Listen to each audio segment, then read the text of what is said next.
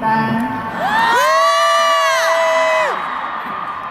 전 이렇게 무대 잠깐만 올라왔는데 되게 떨리는데 늘 이렇게 무대 위에서 노래를 하시는 가수분들은 진짜 대단하신 것 같아요.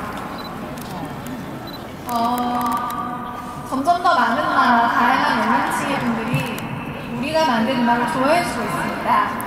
제가 음악은 아니지만 대한민국의 국민으로서 너무 뿌듯한 일이 아닐 수 없는데요.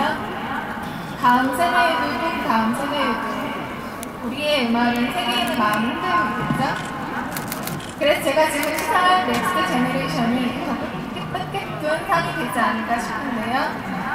2020년이 기대되는 음악, 다음 세대를 빛낸 아티스트에게 주는 상, Next Generation 수상자를 발표하겠습니다. 제34회 골든 수상자는 세 팀입니다. Wow. 김재환.